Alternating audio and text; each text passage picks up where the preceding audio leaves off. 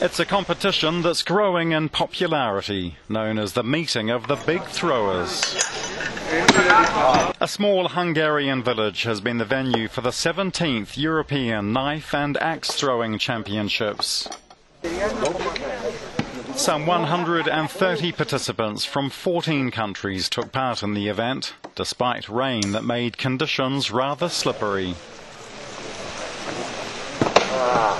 Ez egy ugyanolyan sport. This is a sport like soccer or judo, says the mayor of the village.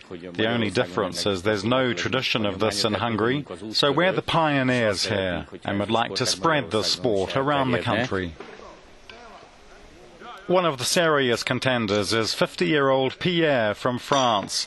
He began the sport as a boy, sometimes leaving his parents less than impressed. When uh, somebody give me a knife, I, I, I try to stick uh, it in the wood, in the in the floor of my room, in the in the door. Of, uh, so it's very compli- complicated with uh, my parents. There are strict rules for the competition, with different types and sizes of axes and knives used. Our correspondent says she decided to give it a go, even though it wasn't really her thing, just in case there was some hidden talent.